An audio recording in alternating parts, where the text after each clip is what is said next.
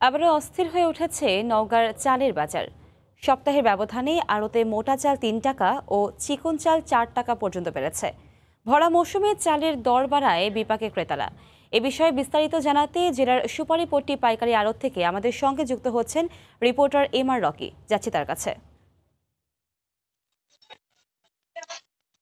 জেলা কৃষি বিভাগের তথ্য মতে, জেলা থেকে ইতিমধ্যে কিন্তু বড় যেসব ধান, নব্বই শতাংশ কৃষকের ঘরে কিন্তু উঠে গেছে এবং এই ধান কিন্তু এখন বাজারে আসছে এবং কেনা বেচার একটা ভর মৌসুম চলছে এবং এই ধান কিন্তু চাল করে বাজারে ইতিমধ্যে ছাড়া হয়েছে।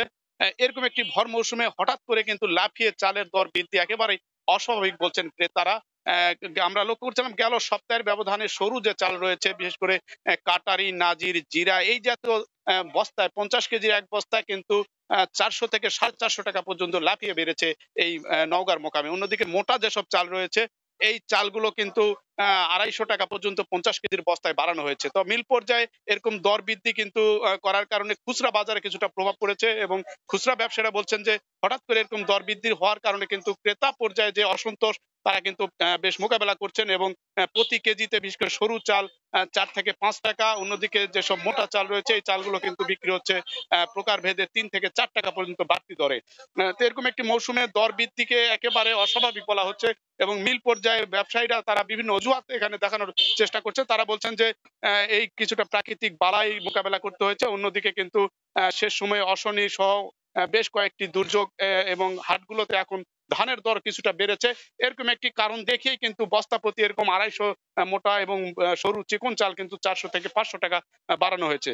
এবং জেলা কৃষি বিভাগের পক্ষ থেকে এই মৌসুমে কিন্তু বুড়ো ধানের যে আবাদের লক্ষ্যমাত্রা ধরা হয়েছিল, এক লক্ষ নব্বই হাজার হেক্টর জমিতে এবং এই এক লক্ষ নব্বই হাজার জমি থেকে কিন্তু বারো লাখ মেট্রিক টন ধান পাওয়ার আশা করছিল। তবে শেষ সময়ে কয়েক দফা প্রাকৃতিক দুর্যোগের কারণে কিন্তু তিরিশ শতাংশ ফলন কম হয়েছে বলছে কৃষি বিভাগ এবং এই জেলায় আট লাখ মেট্রিক টন চাল কৃষকের ঘরে উঠবে এমন একটি প্রত্যাশা করা হচ্ছিল। তবে দর এরকম আকস্মিকভাবে বৃদ্ধি হওয়ার কারণে কিন্তু সাধারণ ক্রেতাদের ভিতরে আমরা বেশ অস্বস্তি লক্ষ্য করছিলাম এবং মিল পর্যায়ে একটা নজরদারি আশা করছেন ভোক্তারা, কারণ হঠাৎ এরকম চারশো টাকা বা পাঁচশো টাকা দর বের হওয়ার, বৃদ্ধি হওয়ার কারণে কিন্তু ক্রেতাদের ভিতরে বেশ কিছু আমরা বেকায়দা অনুভব লক্ষ্য করছি। তো এই ছিল নওগাঁর মোকামে চাল বেচা কেনার খবর আমার কাছে। আমরা সরাসরি যুক্ত ছিলাম নওগাঁ থেকে।